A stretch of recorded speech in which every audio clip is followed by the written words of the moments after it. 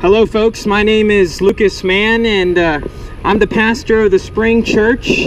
And I come out here this Thursday morning with uh, with a dear brother of mine to preach the gospel of grace to you, to to exalt the grace of God in salvation. We're here because we care for your souls and where you're going to go when you die. We care for you. We care for whether you're in a right standing before God or you're in a wrong standing before God. It is our desire that you would find hope in Jesus Christ. For there is no other name given under heaven among men by which we must be saved, other than the name of Jesus Christ. My friends, your trust must be in the finished work of Jesus. Christ. Yes, ma'am? Absolutely. Absolutely. Hmm. Absolutely. Let's see here. God bless you. Do you need one or two? Okay, okay. God bless you. You have a good morning. Hmm. Praise the Lord. No, wait. Sounds good. Great, great, great, great, great. Okay, awesome. Praise the Lord. Brother, a Bible. A Bible. You just gave out a Bible. I'm so excited. Oh, man. Praise the Lord. Brother, that girl could be searching. Hey, hey, brother. If you need a Bible, come let me know. Don't worry about interrupting. Excuse me. Friends, we we we care to know that you are in Christ. We are we have a great burden for souls because we we want you to be reconciled to God through the through the death of his son Jesus Christ. Friends, we understand that the word of God clearly says that we have sinned against God, that we have broken God's law, and that we have isolated ourselves from the life of God, that the sinner is under the judgment and wrath of the Father. And the only way that they can be rescued is through the atonement that the Father has provided for himself. Through the sacrifice of his Son, Jesus Christ. That is the only way of eternal life for the sinner. And friends, not only do we know that, but we know that Scripture says that there are many who name the name of Jesus Christ, but they do not know him. They say that they have his salvation, but they truly do not.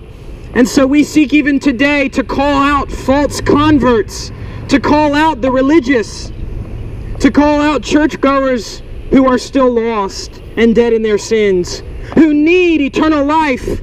Otherwise, they, as, as well as the pagan, will be lost forever in hell. In the place of weeping and gnashing of teeth, the place that is reserved for the enemies of God. And friends, we do not want you to go there. We want you to be pardoned from all your sins, to be cleansed by the blood of Christ, to have all your trust resting fully upon Jesus. For he is jealous for all the glory and salvation. That is why salvation is free. It is all of grace so that God gets all the glory and so that God gets all the honor and praise. And friends, ultimately that is what this is this uh, this morning. This act of my of mine and my brothers being out here this morning to share the gospel with you is ultimately an act of worship unto God. For we are grateful to God for the salvation he has given us. We are grateful that he has poured forth his grace upon our souls so that we would enter into glory when we pass from this life. And that is our hope for you, friends. That is our hope for you. And not only that you'd be saved eternally, but you would be saved even from the power of sin in your life this day. For if you are outside of Christ, you are a slave to sin, and you live in the sewer of iniquity. And friends, it is our desire that you'd be set free from your slavery to sin so that you would live in holiness. And we know the only way that can happen is through the is through the powerful, life-changing message of the gospel of Jesus Christ.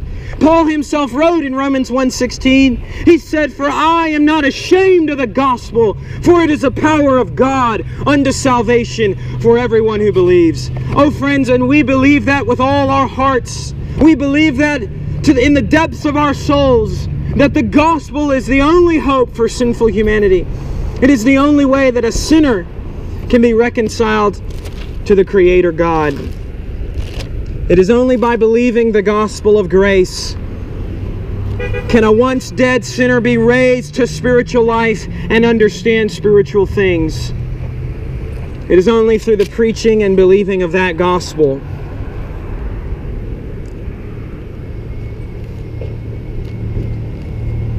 So, friends, the text of Scripture that I would like to direct your attention to this morning is out of the book of Romans. In Romans chapter 2, and beginning in verse 22, the Apostle Paul writes these words under the inspiration of the Holy Spirit of God. He writes, You who say that one should not commit adultery, do you commit adultery? You who abhor idols, do you rob temples? You who boast in the law, through your breaking the law, do you dishonor God?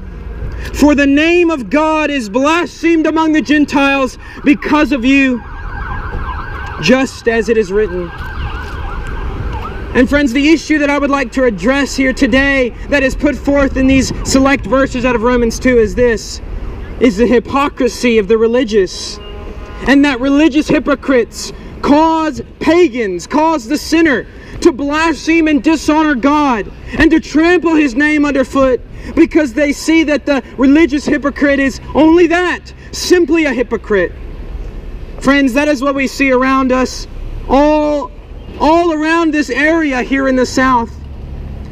Many people go to church, are involved in church, have had a religious experience once in their lives, but they have never been saved genuinely. They are instead religious but lost. They have a form of godliness, but they deny the power thereof. And friends, such people are in a terrifying position, in a horrible place. Because while they think they have Christ, they truly do not have Him. While they think they know Him, they genuinely do not know Him. And by their actions of hypocrisy, and by their, by their lying and their deceitfulness, they cause people who do not go to church, they cause the non religious people to blaspheme God's name. They cause the atheist and the pagan to say, Why should I believe in the God of Scripture? For his followers do not live as they say they ought to. They do not obey him as they claim they do. They do not walk in his statutes and walk in his truth as they claim they do on Sundays. So why should I follow after such a God? Oh, friends, what are we to say to such people who say things like that? In fact, such people I greatly pity because they have in their lives seen religious hypocrites trample the name of Jesus Christ underfoot. In fact, that is why it is my challenge to you today, my dear friends, to examine yourselves and see whether you are in the faith, to see whether you know Christ, to see whether you live for the glory of Christ, to see whether you obey Him truly. And if you find that you do not live for Christ, though you say you do, I would exhort you to renounce your pseudo Christianity, to renounce your false Christianity, and to stop trampling the name of Jesus Christ underfoot, to stop being a hypocrite and therefore causing the pagan and causing the atheist and causing the agnostic evolutionist to trample the name of Jesus Christ underfoot. Friends, it makes it a great difficulty for genuine believers to share the true gospel with the lost when false believers present a Christianity to a lost and dying world that is a powerless Christianity, that is a Christianity filled with a cheap grace. Many people today have a Christianity which is an easy Christianity. They have not denied themselves and taken up their crosses and come after Christ to the place of crucifixion and death. Instead, they live an easy life. They say, Well, I'm a Christian because I prayed the prayer, or because I walked the aisle, or because some evangelist told me I was saved. But they never bear fruit. They care nothing of holiness. They care nothing of walking in accordance to the truth of God's Word. They care nothing about sharing the gospel with the lost or worshiping God in, in spirit and truth. And such people are lost and they're self deceived. And as I said, they cause the enemies of the Lord to further blaspheme Him They give the enemies of the Lord greater ground to make accusations against Christ and against the gospel of grace. Because while they claim to have Christ, they do not live as though He gave them a law to obey. In fact, in Matthew 7, the Lord Jesus Himself spoke on this very issue when He said these words in Matthew 7 22, or excuse me, verse 21. He writes, Not everyone who says to me, Lord, Lord, will enter the kingdom of heaven, but he who does the will of my Father who is in heaven will enter. Many will say to me on that day, Lord, Lord, did we not prophesy in your name, and in your name cast out demons, and in your name perform many miracles? And then I will declare to them, I never knew you. Depart from me, you who practice lawlessness. Many people who sit in pews in churches around this county and in this nation will hear this pronunciation from the Lord Jesus Christ, and they will be eternally lost in hell, though they themselves were involved in church, though they themselves were perhaps deacons in a Southern Baptist church, even, or perhaps pastors, even. The road to hell is covered with the skulls of pastors and deacons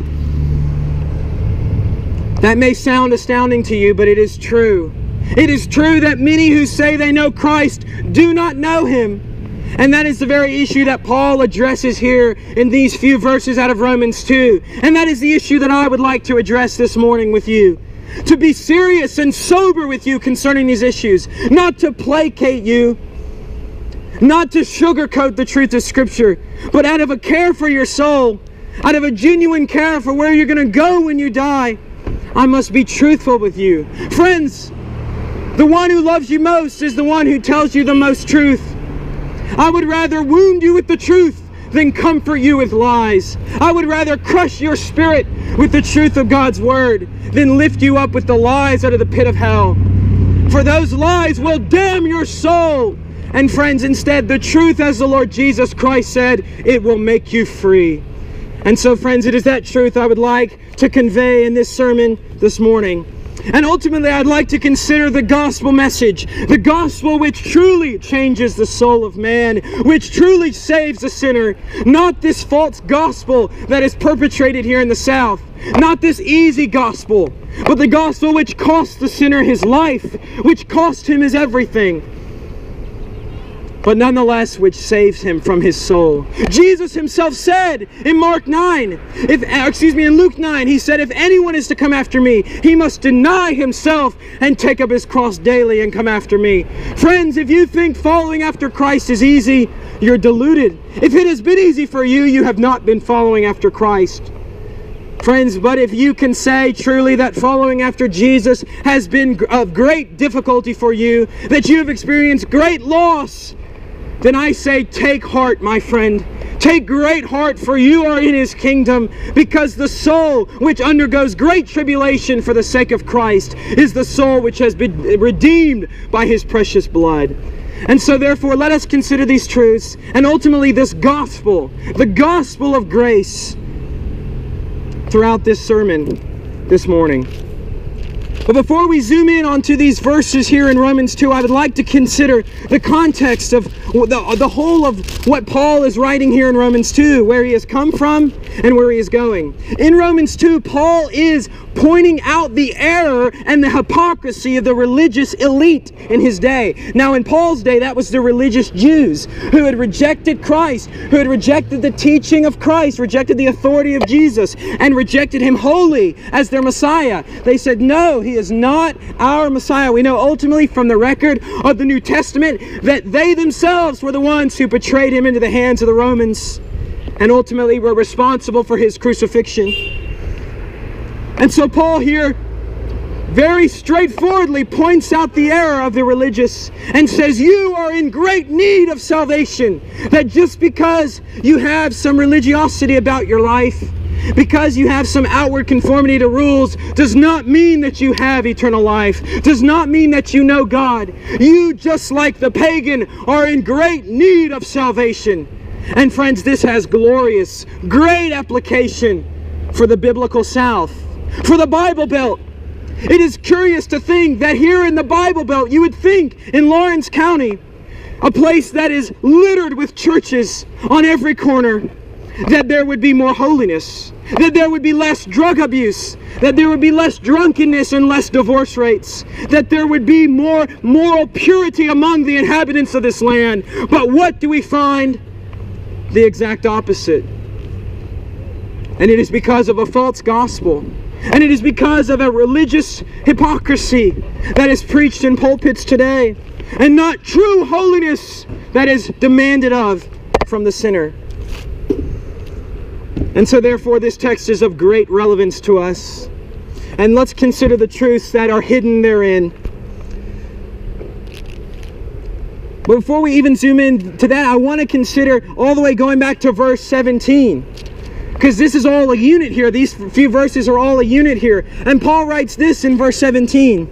Speaking again, as I said, the religious elite of his day, he says, But if you bear the name Jew and rely upon the law and boast in God and know his will and approve the things that are essential, being instructed out of the law, and are confident that you yourself are a guide to the blind, a light to those who are in darkness, a corrector of the foolish, a teacher of the immature, having in the law the embodiment of knowledge and of truth.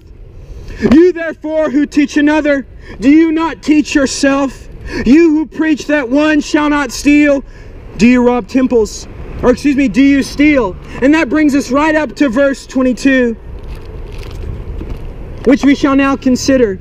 He writes there, You who say that one should not commit adultery, do you commit adultery? And so in the previous verses, he is again questioning, calling into question their moral character, calling them out in their hypocrisy. And he continues that here in verse 22. He even asks him, back in verse 21, You therefore who teach another, do you not teach yourselves? You therefore who go to church here in Lawrence County, do you not teach yourself the things that you say the lost ought to know? Do you say people ought to love their spouses and ought to live holy, but you yourself do not do such things? Hypocrite, I call you out and call you to believe truly upon Christ. For if you find yourself in such a state, you know not his love, you know not his saving grace. And that moves right into verse, or excuse me, he continues in verse 21 You who preach that one shall not steal, do you steal? So he asks them another question. Okay, if you say someone should not steal, do you steal? And that again, as I said a moment ago, has great application for the religious here in this day and age, in this very county, who say they know Christ, but do not live in obedience to Him. What would you think of, of a soldier in the United States military who boasted in his being a soldier and being in service, but he did not obey those who were in authority over him? Such a man would quickly be kicked out of the military and would be let off on a dishonorable discharge. Such a man would not be considered a worthy soldier to serve in the United States military. Yet people think that they are soldiers in the kingdom of God, that they are soldiers for the cross of Christ. Yet they do not obey his charges and do not consider his commands. Such people ought to simply renounce their false Christianity and stop bringing reproach upon the name of Jesus Christ. And then that leads us into verse 22, where Paul then says, You who say that one should not commit adultery, do you commit adultery? Sexual immorality. Many people who go and attend church boast in the fact that they hold to a very strong belief concerning sexual purity. And they say the culture ought, be, ought to be sexually pure. But how many of them truly live holy lives before the Lord? How many of them truly live in obedience to the commandments of Christ? Very few. Very few genuinely do. How many people go to church say people ought not commit adultery, people ought not watch pornography, people ought not be lustful in their hearts? But then they go home and they set before their eyes things on television which God hates. Or they go and look on the internet, look upon things on the internet which God detests. They're hypocrites, friends. Hypocrites. Maybe you're one of them. then you're a son or daughter of hell, friends. You need Christ. You need salvation from your sins through Jesus Christ. You need to be cleansed from your sins. You be cleansed from a guilty conscience. For God has given you an inherent knowledge of right and wrong. You know what is wrong and you know what is right. But you suppress that truth in your unrighteousness and in your sin.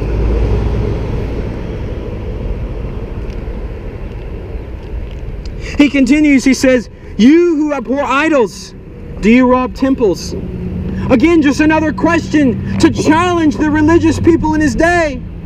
The things which you say you believe, do you live in accordance to them? And the answer can well be no. Many people who go to church here do not live in accordance to that which they say they believe. Even I myself have seen this. I've seen this all, I see it all the time as I'm out on the street sharing the gospel. And even being in church for as long as I have and being around church people, I see greater and greater evidence of the truth of Scripture concerning this. That many who say they know Christ do not know Christ.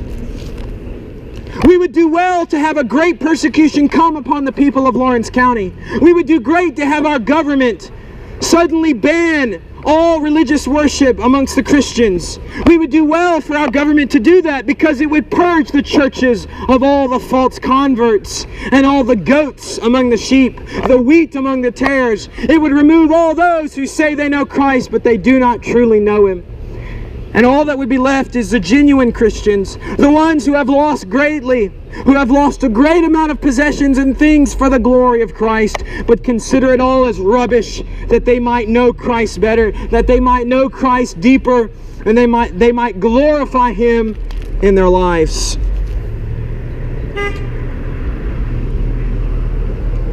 Verse 23, he continues by saying, You who boast in the law, through your breaking the law, do you dishonor God?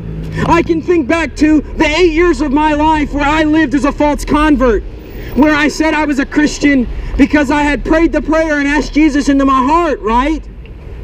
It didn't matter how I lived, it's just that I did that one time ritual, and therefore I was okay. Wrong! I was deceived. I thought myself to be converted, but I was desperately lost.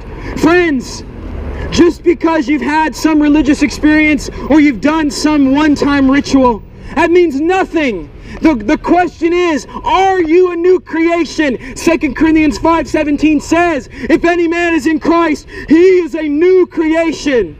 The old things passed away, behold, new things have come. The question is, have you been born again? It's not, has an evangelist told you you're saved or a pastor told you because you did some goofy ritual that you're saved. It is, have I been born from above? Has the Spirit of God raised me to spiritual life? That is the question. And do I live in obedience to Christ? Not so that I might be saved, but because I am saved, out of gratitude toward God for the grace He has bestowed upon me. Friends, I can think back to that period of my life where I was a false convert. And I thought I was saved because I had done that religious ritual, because I had said I was converted, because I had said I was saved. But I lived as though Christ never gave me a law to obey. I lived as though Jesus didn't even exist. I lived in rebellion and hypocrisy and in pride, in pornography, addiction to pornography and lust great selfishness and disrespect toward my parents, toward my siblings. Friends, I was lost. And if you live in such a manner, I don't care what you say with your lips. It is what you how you act. It is how you behave. In fact, there's an old phrase that says actions speak louder than words. And friends, that is very telling and very true. That your actions speak greatly, much more than your words do. Friends, suppose I was married and I told my wife that I loved her, but then I went around committing adultery with women all throughout uh, the city of Lawrence or the, the county as a whole. Friends, I would be a liar. I would be lying to my wife. I'd be a deceiver. And yet people say they know Christ. God bless you, ma'am. People say they know Christ, but they live in spiritual adultery. They live in blatant rebellion and blatant immorality. Such people are lost. Such people are not converted. Or we consider those who care not to share the gospel with others. People who say they know Christ, but they do not desire to share Christ with others. What do we say concerning them? Well, I will steal from the, uh, the great preacher Charles Spurgeon, who said, If you desire not that others be saved, then you can know that you yourself are not. Friends, if you say you know the love of Christ, but you do not abide in his love, you do not live in, in the, for the glory of Christ, and you do not live in obedience to Christ, you're lost, you're deceived. Friends, I'm pleading with you. I don't want you to be lost in your sins. I don't want you to die in your sins. Please flee to Christ for eternal life. Today, you hypocrites, run to Christ. And friends, I do want to say to those of you who perhaps might accuse me of being harsh or say that Lucas, the language which you are using is too harsh. Well, friends, I must say that the language which I am employing is biblical language. Listen to what John the Baptist said to the religious people of his day. He says in verse 7 of Matthew 3, he says, You brood of vipers, who warned you to flee from the wrath to come. Therefore, bear fruit in keeping with repentance. And do not suppose that you can say to yourselves, We have Abraham for our father. For I say that God, that from these stones God is able to raise up children to Abraham. The axe is already laid at the root of the trees. Therefore, every tree that does not bear good fruit is cut down and thrown into the fire. Oh, friends, Christ, Christ is a sufficient Savior. And when He saves a man, the whole of the man is saved. Not just his eternal salvation is secured, but the present salvation from sin is brought about. He is not a slave to sin. He is not a slave to hypocrisy. He is freed. He is a slave to righteousness for the glory of God. Friends, if you're not a slave to righteousness, then you're a slave to sin. And if you're a slave to sin, then you're lost. It's not about what you say with your lips. It's not about how many times you've been to church. It's about have you been born again? Have you been born from above? Has God implanted spiritual life in your soul? Has God raised you from your deadness to sin? And given you eternal life in his son? That is the question. That is the question that must be answered. And so going back there to Romans chapter 2, God bless you. Paul then ends off this section in verse 24 by saying, he quotes the Old Testament here. He says, For the name of God is blasphemed among the Gentiles because of you just as it is written. And friends, just as that text had great potency in Old Testament days, so it does in the New Covenant and in this new dispensation which we find ourselves in. Friends, the name of God is trampled underfoot by the Gentiles, by the pagans around us in this very county because of the hypocrisy of religious people in this place. Because of those who sit on church pews on Sunday and then are drunk in the bar on Saturday.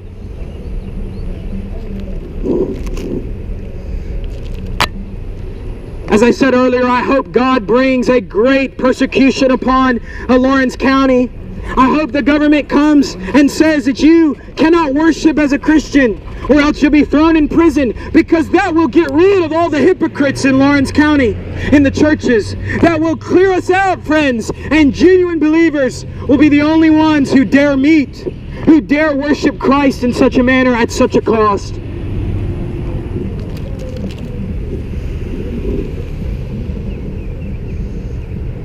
The name of God is blasphemed among the pagans, among the atheists and the agnostics, because of the hypocrisy of the religious, of the Methodists, of the Southern Baptists, of those who attend the Church of God churches. Friends, the religious people who are hypocrites bring great reproach upon the name of Jesus Christ. And they ought to be called out in their sins. Pastors ought to call them out. And I myself, being a pastor, will say that with boldness that pastors ought to call false converts out in their sin.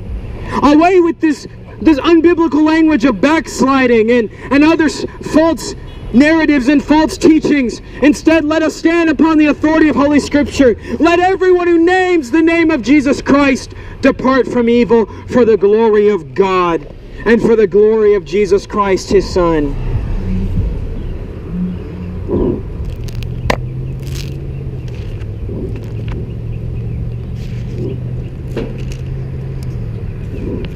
But we do ask ourselves this question Who is this God? Who is the God of Scripture? Who is the God of glory? The God of Abraham and Isaac and Jacob. Who is he? Well, his name is Yahweh. He is the triune God, Father, Son, and Holy Spirit. Three eternal persons, co equal, co-existent, yet one essence and nature of God, one being of God. And that nature in no way is it divided. This is the true God, and this God is a holy God. He is set apart from all that is perverse, and all that is evil, and all that is wicked.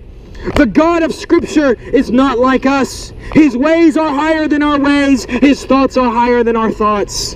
In fact, He told Moses, one of the most holy men in his day, that he could not see Him. For no man can see God and live.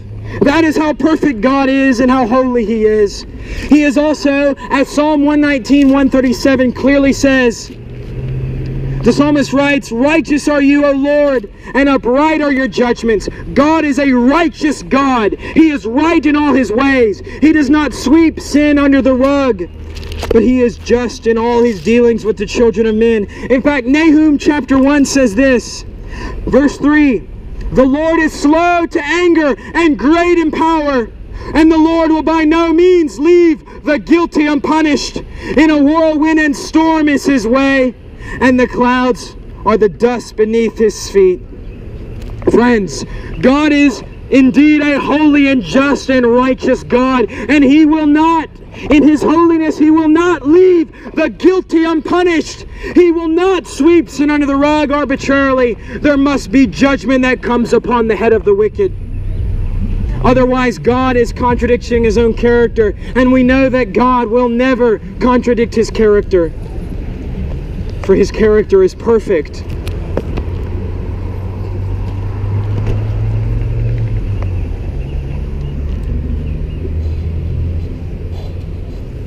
Friends, we, we see an example of the holiness of God in Isaiah 6 when the prophet Isaiah is given the opportunity to stand before God in glory and to see the Lord on his throne.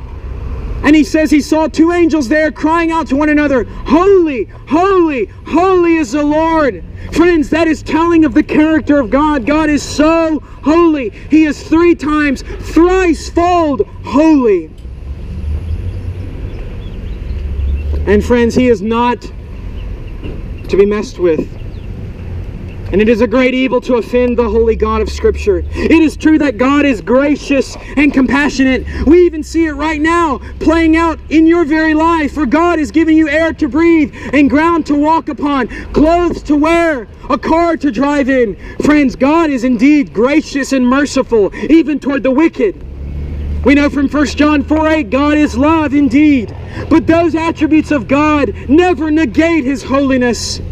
They never belittle His holiness. They never detract or subtract from His holiness. No, the attributes of God stand in glorious unison with one another. Friends, God is holy. You must understand this. This is hard preaching, yes, but it is true. Don't think so much of yourself to think you can stand before this holy God in your sin. No man, not even the most holy of men, can stand before the Lord in their sin. And God, in His perfect holiness, has given us His law. He has given us His Ten Commandments. Friends, that those Ten Commandments are ten eternal statutes of God. They are, they are His, His moral law. And friends, it is a reflection of the character of God. God's law is perfect. It shows us His perfect character. The law of God is not there for just some random purpose. It has a very specific purpose. And as Romans 3 tells us, the law brings about the knowledge of sin. We'll talk about that in a moment. But firstly, the law of God shows us the character of God. You may ask, how is that? Well, when we consider the commands, As Jesus summarized them in, in Mark chapter 10, he said to the rich young ruler in Mark 10 19, he says, do you um, do excuse me he says you know the commandments. Do not murder. Do not commit adultery. Do not steal. Do not bear false witness. Do not defraud. Honor your father and your mother. Friends these commands of God show us the character of God. They show us the perfection of His character. That He has not a single spot or blemish upon His character, and He is righteous in all His ways, upright in all His deeds, and He deals with the children of men in justice and in holiness.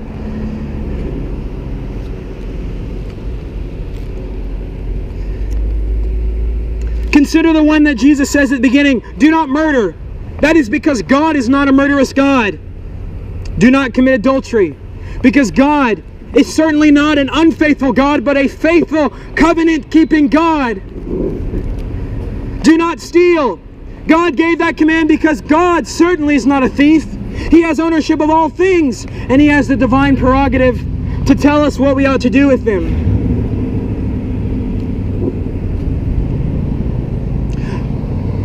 Do not bear false witness, aka lying. Why does God give that command? Because God is not a liar. And as Hebrews tells us, it is impossible for God to lie.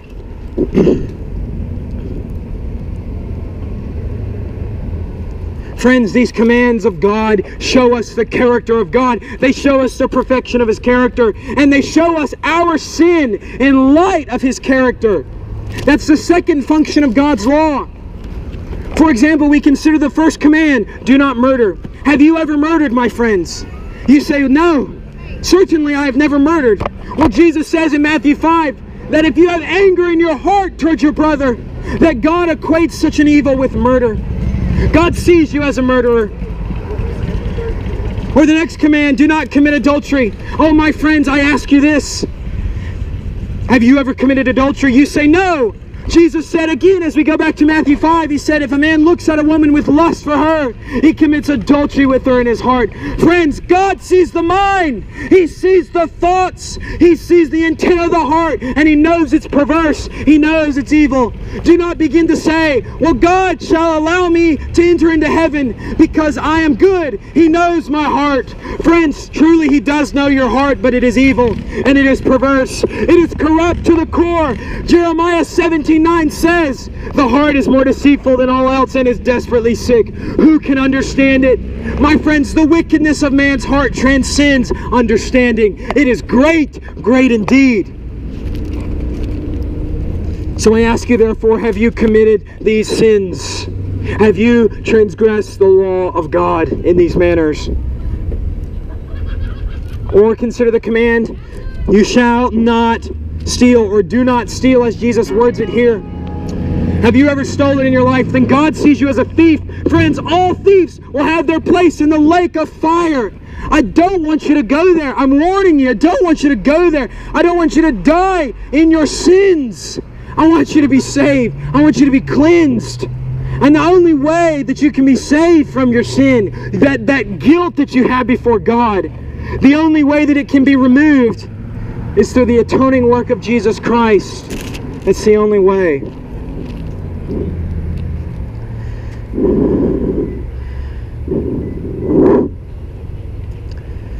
Do not bear false witness. Have you lied?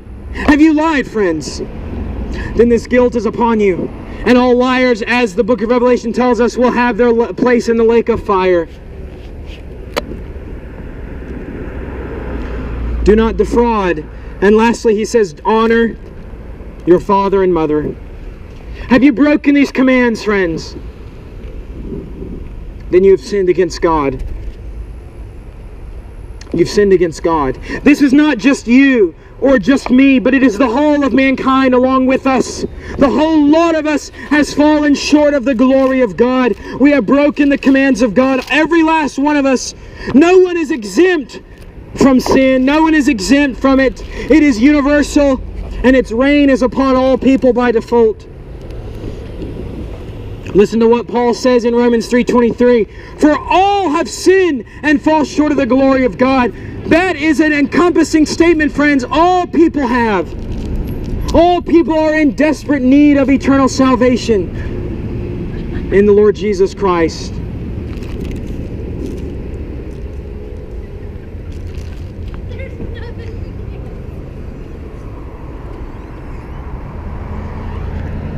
And so, because the whole of mankind, because all of us have broken the law of God, friends, we must understand this that all of us have broken the law of God. And in that guilt, we stand before the tribunal of God as transgressors, as lawbreakers, just as a murderer here in Lawrence County, just as a rapist here in Lawrence County must stand before a judge, stand before a tribunal, and be punished for his crimes. So too must we, as sinners in the hands of an angry God, be punished for our sins. Be justly punished for our law breaking before the Creator. It is only just that God would do so. And it is only in accordance with his character. And the punishment that God has for sin, the place of punishment, is hell. It is the place that Jesus described as a place of weeping and gnashing of teeth, the place of outer darkness, the place of torment, the place of an unquenchable flame, and the place where once a soul goes to it, it cannot escape. It is the prison that no one can flee from, that no one can get out of. And God is totally just in doing that. And it is in hell where God unleashes his just wrath upon the wicked, where God judges sinners because of their law breaking. Just as a rapist or a murderer must be sent to prison for a very long time. And people rejoice to know that when someone here in the United States has broken the law so heinously and so grievously, is punished to such an extent. We rejoice because justice has been administered. Friends, it is the same way with the character of God. God is holy and he will see fit that the wicked are punished in hell. And so therefore we are all condemned there. Every last one of us are condemned to the place of weeping and gnashing of teeth without hope in ourselves, without any hope. That's the bad news. That is the bad news, friends. That we have no hope in, in, our, in and of ourselves. That no amount of religious deeds can make us right before our Creator God. Excuse me. Think about a convicted murderer rapist here in Lawrence County trying to make himself right before the judge by listing off his accomplishments. It does not work. The same way with God, only God is more perfect. To list off one's accomplishments does not make one right with God. That only offends God more because it is an affront to Him, because it is an offense to Him. God cannot be bribed.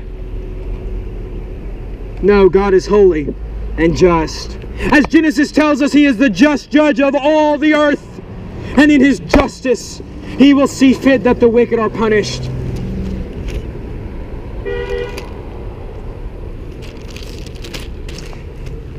And those of you who are religious yet lost, this is something you must get through your head, is your sin and your guilt before God. You must come to grasp how evil you truly are and that you need a Savior and that nothing you do can merit a right standing before God. Nothing you do can make you right before your Creator.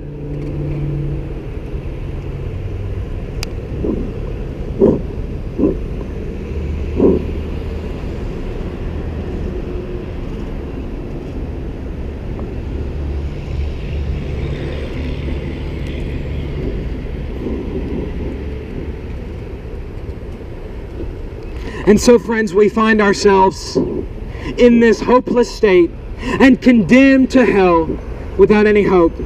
However, friends, the gospel is the good news of Jesus Christ is that God, in His great love for His elect, in His great love for His church, and for His people, He sent forth His Son See, friends, God in eternity past set aside his elect to save them. He set aside his people to give them eternal life. He set aside a people that he would redeem. The Father predestined his people to life, and he covenanted with the Son. He covenanted with the Lord Jesus Christ. to come, that Christ would come and die for this people, this lot of miserable wretches. And Jesus agreed to do it. And the Father's reward for his sufferings would be that he would give him a throne and he would reign over his kingdom forever and ever. And this people whom he would die for would be his bride. And friends, I tell you that Christ, in full submission to the will of the Father, obeyed. He obeyed the will of the Father. He obeyed the charge and the command that the Father gave him, and he died for the elect of God. He died for the people of God. And my friends, he has received and is continuing to receive and will receive the full reward of his sufferings. The Lamb is worthy to receive the full reward of his sufferings, friends.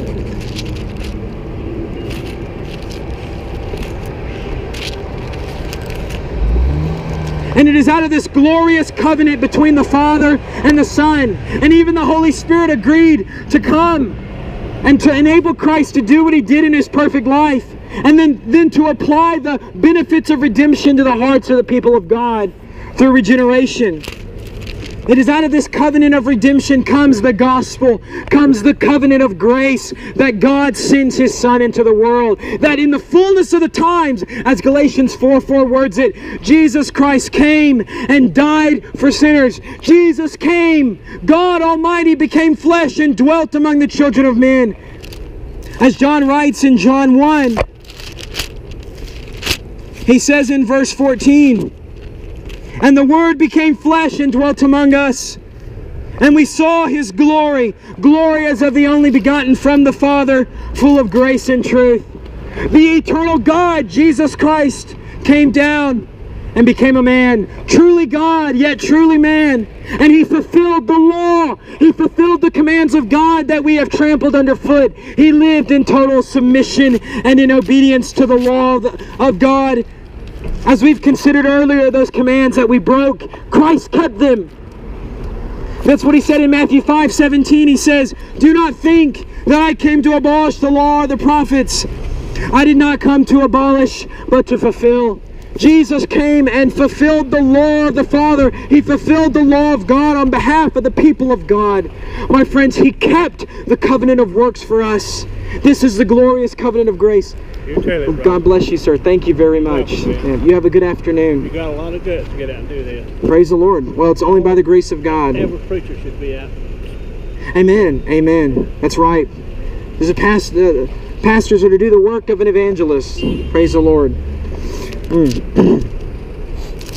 And we know that Jesus fulfilled the law of the Father. We know he kept the law of God perfectly because we see in Matthew 3:17 this happened. At the baptism of Jesus, the Father speaks audibly from heaven and says these words. He says, "This is my beloved son in whom I am well pleased." Friends, no one can have such a such a de- declaration spoken upon them or over them. No one has completely kept the law of God, but Jesus Christ, the righteous, has kept the law of God on behalf of the people of God. And friends, not only has He lived for us, but He has died for us. He has laid down His life as a, as a precious sacrifice, as the Lamb of God Jesus Christ was beat and whipped and spat upon, made a public mockery, and nailed to the cross of Calvary, where he bore the wrath of the Father against the elect. Against us, my friends, those of you who are in Christ or shall be in Christ. He bore the wrath of God for the people of God in his death at the cross. The Father counted Jesus as if he broke the law and as if he rebelled, though he was perfect and though he kept the law. The innocent treated as, he, as if he was guilty. The, die, the just died for the unjust. The righteous for the unrighteous. The sinless for the sinner Friends, this is the beauty of the gospel that Jesus Christ takes upon himself the full fury of the wrath of the Father, the judgment of God against the sins of the people of God. That is why Isaiah 53 could say in verse 4 Surely our griefs he himself bore, and our sorrows he carried.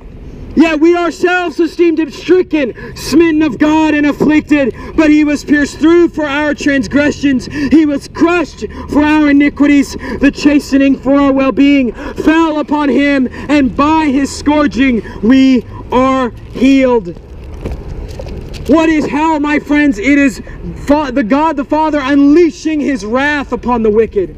But what is the cross of Jesus Christ? The Father putting his wrath on his son so that sinners would not have to bear it in hell, so that sinners could be received into celestial glory to dwell with God forever, so that God could bring his church to eternal glory and still be just in doing so and still be righteous in doing so. So God shows both his grace and his holiness, both his love and his justice in the cross of Jesus Christ. That is why in Isaiah 53:10 it says, "But the Lord was pleased to crush him." Friends, he bore the wrath of the Father against sin against sinners. Every ounce of the wrath of God that I deserve upon myself in hell was put on Christ, and He paid for it in full. We know from the book of John that when Jesus died, He said, to tell us, Tetelestai, that is, it is finished. The work of redemption was complete.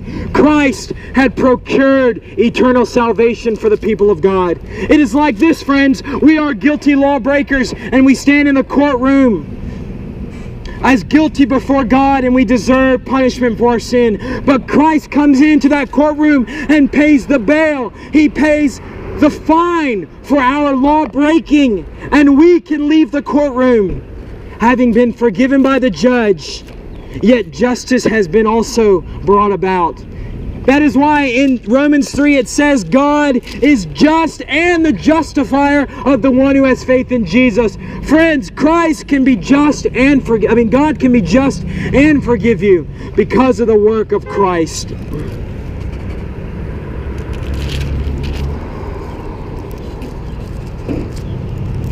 And so he died and the wrath of God was satisfied. After three days in the tomb, the Father rose him up from the grave. He rose him up as a reward for his sufferings. Amongst the many rewards that Christ received, the Father rose him up to life as the public display that he had received his sacrifice as sufficient payment for our sins. As Romans 4:25 says, that Christ was raised because of our justification. In other words, to bring about our salvation. Jesus Christ is alive today, never to die again. He is the true God and eternal life, the living God, and death will never have power over him. Even in that period of time where he allowed death to overtake him, even that was him willingly doing that, for he has infinite power. He is omnipotent. And my friends, he is alive today forevermore and will never die again. After 40 days of further ministry among his disciples, among his beloved disciples, he then went to the top of the Mount of Olives outside of Jerusalem and bodily ascended into heaven. And the Bible tells us in, in book of Hebrews that he sat down at the right hand of majesty on high. He sat down at the right hand of the Father in glory, and he has completed the work of redemption once for all. It is done. The work of salvation is complete. And he now lives to make intercession for the people of God. It is finished, friends. He reigns as king over the universe. And the call of the gospel, the call of the gospel of Jesus Christ, as Jesus said in Mark 1 15, he said, Repent and believe in the gospel. The call of the gospel is that you must repent. The sinner must repent and believe. Repentance means to change one's mind, to be grieved over your sin, to be broken and to see that you cannot save yourself, that your deeds of righteousness cannot merit a right standing before God, that you're a sinner and you deserve God's punishment for your sin.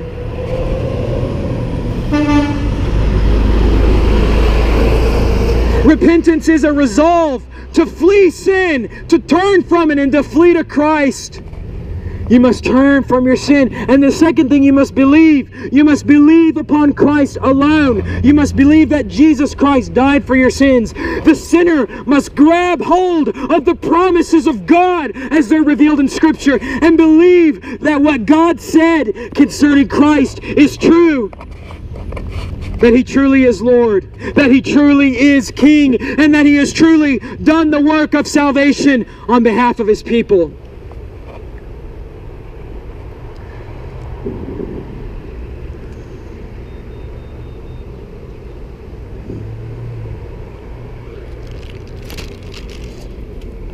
And the sinner who repents and believes, God will forgive them of all their sins. God will forgive them of all their sins, past, present, and future. They will be cleansed by the finished work of Christ.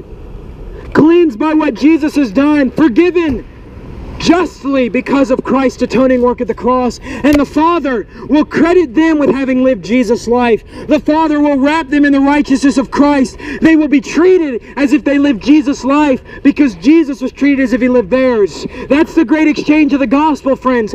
Christ takes my sin, I get his righteousness. Christ takes my filth, and I receive his perfect robe of righteousness. I receive his garment of righteousness as a gift from the Father, as a gift of grace. The Father counts counts me as if I lived Jesus' life because he counted Christ as if he lived my life. That is glorious, friends. That's the grace of God. My friends, flee to Christ. Believe upon Christ for eternal life. The sinner who believes, who repents, who believes upon Christ, this is what they receive from God as a gift of grace. This is what they receive from God, all out of the unmerited favor of God, the unmerited mercy of God. Friends, cast yourself upon the mercy of God as it is revealed in Christ. The gospel is not that God wants you to be happy, healthy, and wealthy. The gospel is that Jesus Christ saves sinners from their sin. That is the gospel. Jesus saves sinners.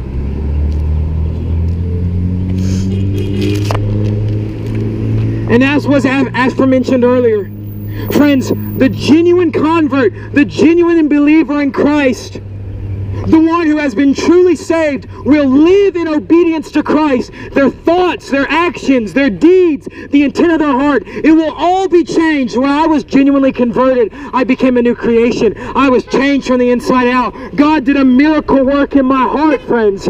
And let me tell you, if you are genuinely converted this day, you will be changed. You'll be a new creation. And if not, it's because what you got today was false and it was not real. Many people claim to have Christ, but they don't have him because they don't don't live for him. It is not that we are justified by our works, no, my friends, but we work, we bear fruit because we have been saved by the grace of God.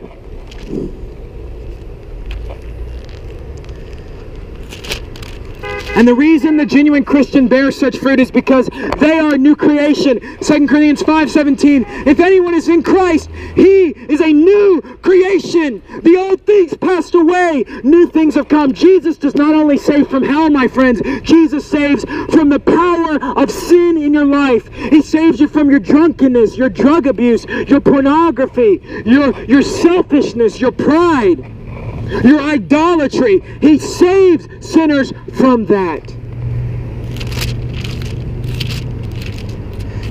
That is why John could write in 1 John 2 4, or excuse me, in 1 John 2 3, he says, By this we know that we have come to know him if we keep his commandments. The one who says, I have come to know him and does not keep his commandments is a liar, and the truth is not in him. Whoever keeps his word, in him the love of God has truly been perfected. By this we know that we are in him. The one who says he abides in him ought himself to walk in the same manner as he walked. And not only is this a life-changing gospel, but this gospel of Jesus Christ is for the Christian. My dear brethren who are out here today, fellow Christians, I cry out to you to rest upon the gospel of grace today, to remind yourself of what Jesus has done for you, what he's done for us, that he died for our sins and was raised on the third day, and that we've received salvation because of it. Fellow Christians, Rest once more in the gospel today and preach the gospel. Share the gospel with the lost and dying world, friends, for the rest of your lives. It is all by grace, all out of the free grace of God. It is by grace we are saved through faith, and that not of ourselves, it is a gift of God. All because God is so gracious. And it is all for the glory of God. It is all to the glory and praise and honor and exaltation of God. God has done all this. God has created this world. God has sent His Son into the world to save sinners. God has saved me and all the elect who have been saved up to this point, and whoever will be saved. He has done it all and will do it all for His glory. God is for His own glory. God is out to bring His name glory and praise and honor.